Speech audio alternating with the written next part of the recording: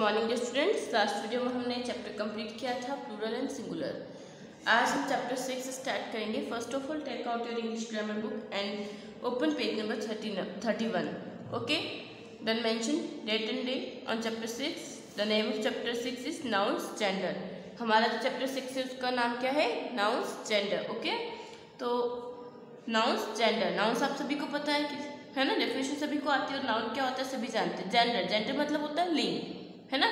लिंग मतलब बॉय है गर्ल है मेल है फीमेल है, ऐसे, ठीक है?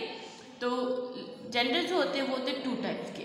कितने टाइप्स के होते हैं जेंडर टू टाइप्स के masculine and feminine okay masculine feminine two type के जेंडर्स होते हैं ओके मैस्कुलिन मैस्कुलिन जेंडर क्या होता है? जो कि मेल बताता है। किसके बारे में? कि वो मेल है। और फेमिनिन होता है कि वो बताता है हमें कि वो फीमेल है।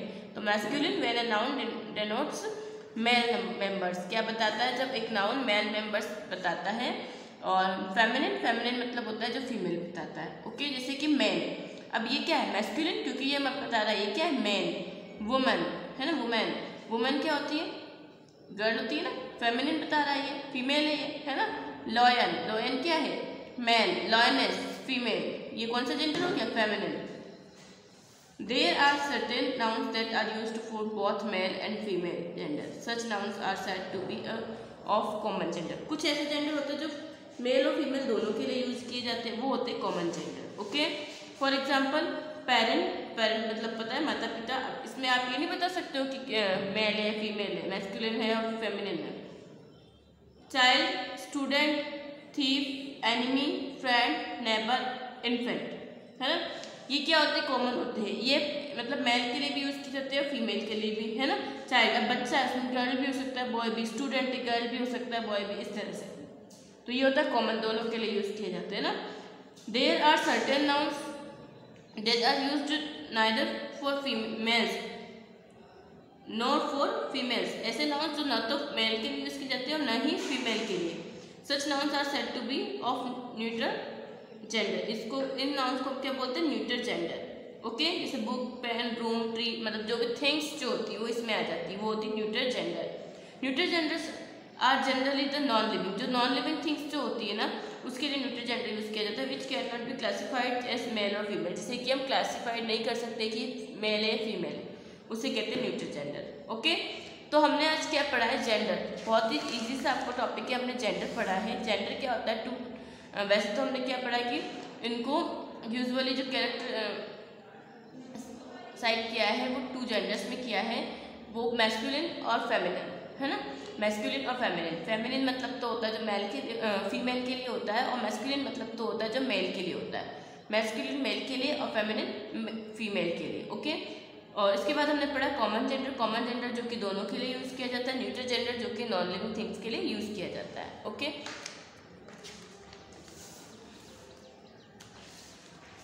यहाँ पे आपको दिया हुआ है, जैसे masculine bachelor maid boy girl brother sister bull cow एक तरफ़ मैस्कुलिन एक तरफ़ फेमिनिन है ना?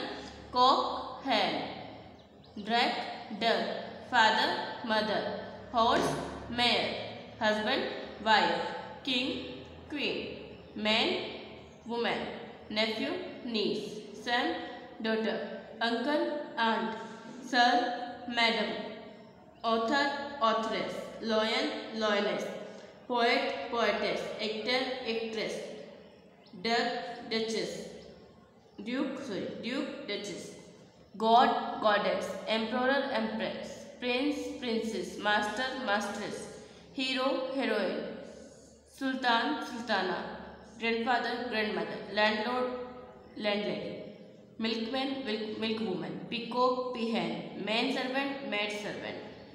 Don D gentleman lady monk nun host hostess tiger tigress cock sparrow wizard witch widower widow waiter waitress ये आपको मैस्कुलिन और फेमिनिन जो है जेंडर्स कुछ बताए गए हैं ओके अब हम एक्सरसाइज करेंगे। Exercise first right M for masculine M तो आपको मैस्कुलिन के लिए एफ़ फेमिनिन के लिए सी कॉमन के लिए एंड एन न्यूट्रोजेंडर के लिए आपको लिखना है। चेयर चेयर क्या है? कोई थिंग है नॉन लिविंग थिंग है तो ये क्या हो गया? न्यूटर टेबल क्या है? न्यूटर बॉय बॉय मेल क्या है? मेल है। मेल के लिए क्या लिखेंगे? एम मेस्कुलिन हीरोइन हीरोइन क्या होती? है female F duchess duchess female parent parent common हो गया। बुल बुल बुल क्या होगा? मैन, एनिमल एनिमल क्या होगा? कॉमन, सी, ग्रूम। ग्रूम क्या होता है? Man, M, wood. Neuter non living thing है। Man, fox, man, window. Neuter horse. Horse क्या है? मेल है, मैस्कुलिन।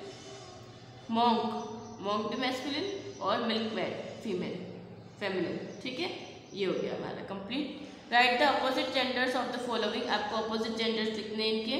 हॉर्स हॉर्स का अपोजिट क्या होगा? मेयर हस्बैंड का वाइफ एक्टर का एक्ट्रेस आंट का अपोजिट अंकल विच का विजार्ड पोइट का पोइटेस टाइग्रेस का टाइगर वेटर का वेट्रेस ये सभी हमने जो इसमें पढ़े इसमें आपको मिल जाएँगे. डचिस का ड्यूक फोक्स का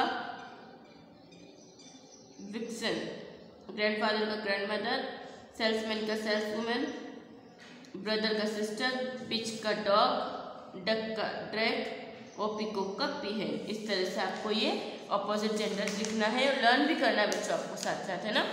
Fill in the blanks using the opposite gender of the highlighted words in the following sentences आपको अपोजिट जो हाईलाइटेड वर्ड है उसका अपोजिट जेंडर आपको लिखना है। The lion and were looking after their cubs lion lion का आपको opposite gender लिखना है, वो होगा lioness the lion and lioness were looking after their cubs जो लॉयन और लॉयनेस दोनों मिलके क्या कर रहे हैं, अपने कप्स का, यानी कि अपने बेबीज का जो है ध्यान रख रहे हैं। The waiter serve the food है ना? वेटर अब यहाँ हाईलाइटेड क्या है? वेटर है तो वेटर का आपको यहाँ पे लिखना है, क्या हो जाएगा? Waitress the waiter and waitress sorry the waiter serve the food and waitress clean the table waiter ने तो फ़ूड सर्व किया वेट्रेस ने क्या किया? टेबल को क्लीन किया। Third both brother and sister work hard मैंने सिस्टर का आपको अपोजिट लिखना था तो यहाँ ब्रदर आ गया। दोनों ब्रदर और सिस्टर दोनों क्या कर रहे हैं? वर्क हार्ड है ना? हार्ड वर्क कर रहे हैं।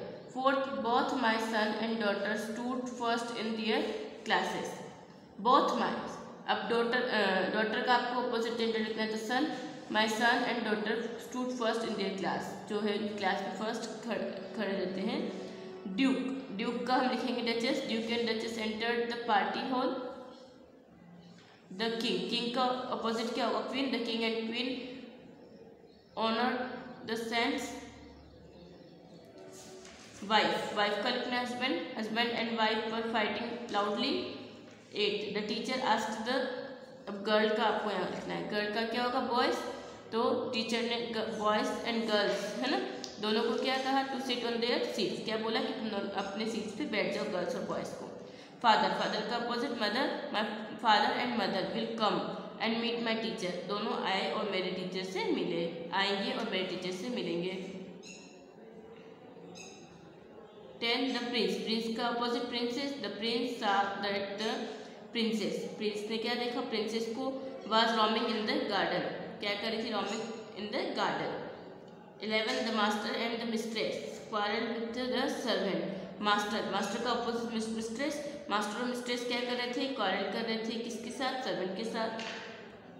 माई आंट आंट का आंट हाईलाइटेड है तो आंट का opposite uncle my aunt and uncle love love me a lot thirteen the heroine is a newcomer but the hero is an experienced actor heroine तो newcomer थी और hero क्या था? Experienced actor था। Heroine का उल्टा आपको opposite लिखना था।